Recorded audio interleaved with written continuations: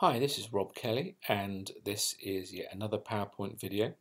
This particular video is going to talk about the effects of desire for control in relation to locus of control, in relation to a person's locus of control and whether they tend to process and attribute experiences in their life to either internal or external sources.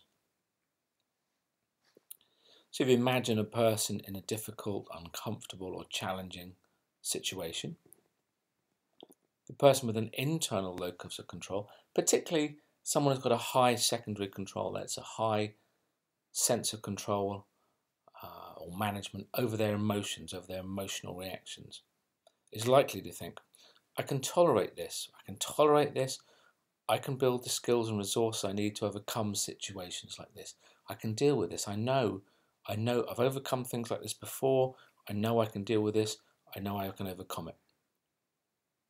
The person with an external locus of control, in particular one with low secondary control, thinks to themselves, I can't cope with this. I can't deal with this. How can I escape from this? How can I get away? What can I do to avoid this situation? So initially there you've got a completely different reaction from someone who thinks internally and someone who thinks externally to a challenging or uncomfortable situation. The next step, then, the person with an internal locus thinks to themselves that they feel calm, they feel in control. Uh, he or she feels able to put effort in. They believe they've got the skills and abilities to deal with this situation. Therefore, it's not stressful. Uh, it doesn't create anxiety. I can put up with this. I can deal with this. Yeah, I can do this. I've, I've got the skills to get past this. So it's quite a calm, thoughtful, contemplative reaction to the situation. The person with an external locus feels quite anxious. He or she puts every effort into avoiding escaping, or if they've got to face it, over controlling the situation. They're over controlling it. They don't believe they could survive this situation. They don't believe they could tolerate this situation, whether it's a fear of flying, eating peanuts, a fear of being sick, a phobia of dogs, having a row with your partner, any situation at all, they don't believe they can deal with it or tolerate it or put up with it or live through it. So they have to do something to avoid or escape it. For the internal person, this leads to an increased sense of internality. The person feels more powerful and capable Again, they've got through a situation by using their brain, by using their skills and resources. Any initial anxiety at the beginning of the event has been overcome. They feel confident and assured about their skills and resources. The external person strengthens the idea that they don't have the adequate skills and resources to deal with situations. Their anxiety is reinforced. They try even harder to avoid difficult or intolerable situations. So these two different reactions are entirely different. At the very beginning, the person or either person can be equally stressed or anxious about the event. For example, getting on an aeroplane when people know the weather's bad. The internal person can feel as anxious as the external person, but the internal person processes their ability to resolve how they know they're reacting to this flight in a calm, relaxed, positive, and confident way.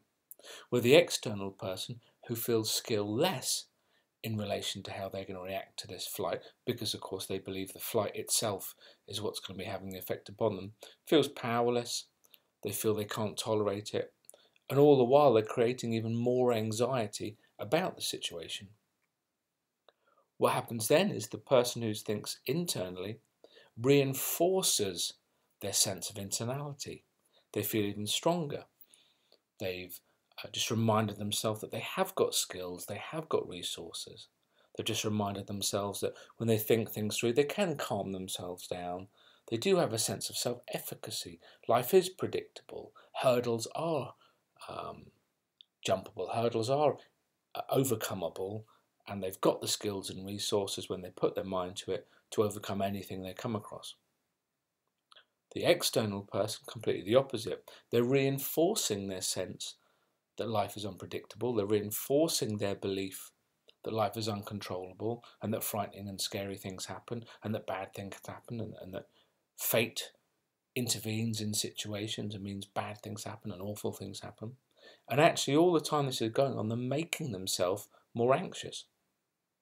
If you think about it, some of the most external people we help, for example, the emetophobes, are some of the most controlling people we help. And even though they have almost complete control over their lives in terms of exposing themselves to emetophobia, they're also the most stressed and anxious people we deal with, and the most neurotic people we deal with, and the lowest self esteem people we deal with, and the people with the highest social anxiety to deal with. So even though they are completely, in most cases, avoiding the very situation that frightens them, they are still creating a tremendous amount of anxiety and stress and pain, if you would, about the event or situation. That's because in order to escape, to run away, to over control a situation, you have to think about it in a very, very stressful, anxiety provoking way oh my god, I can't get on that plane. It's frightening. I can't. I can't fly there. I can't fly to America. I can't do that. I can't face that. I can't. I can't possibly live with that. I can't possibly tolerate that. Are very anxiety-provoking thoughts, very stressful thoughts. I can deal with this. I can get over this. I can get around this. Aren't stressful thoughts at all.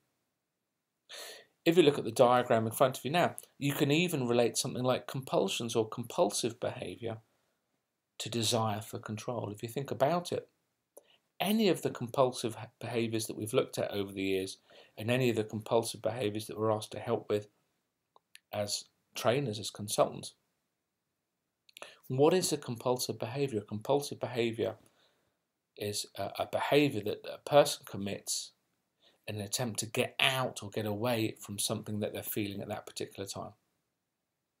So even whether someone compulsively eats, or whether someone compulsively drinks, whether someone compulsively has sex or takes drugs or gambles, they're doing that in order to get away from a feeling, to get away from a feeling that they're currently going through, that are currently experiencing, which is intolerable to them in some way, shape, or form, that they have to do this thing to get away from that in order to feel better.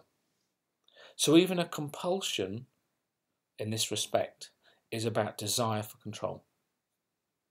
More specifically, you could in fact think of desire for control specifically as a method of compensating for low secondary control. So low secondary control, of course, secondary control is almost always entirely about emotions.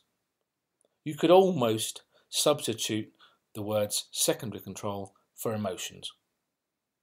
So high secondary control when someone's internal, this is a person that has control over their emotions. They don't score highly on all the unhelpful thinking styles questionnaires. They don't think catastrophically. They don't brood about things. They don't think in black and white ways. They've got good control over their emotional responses low secondary control for people with an external locus. They don't have good control over their emotions. Their emotions run wild with them in certain situations. So, compulsive behaviors or compulsive thinking, really, in this respect, is about a strong desire for control. I've got to get away from this feeling. I've got to feel better. Doesn't matter what I do, but I've got to feel better now, regardless of the consequences of drinking, of having sex, of sleeping around, of taking drugs, of spending money, of gambling, whatever, regardless of the consequences, I want to feel better now. That, of course, is entirely about running away, escaping from a feeling that the person believes is intolerable and getting to a better place. So, in that respect, it is um, desire for control in the most primitive form, getting away from an intolerable feeling and escaping to something better. The more a person does that, the more external and powerless they become. The more a person tolerates difficult situations and builds up skills and resources to deal with these situations, the more internal they become. And the more they do this, the further they go down that continuum of internality or externality.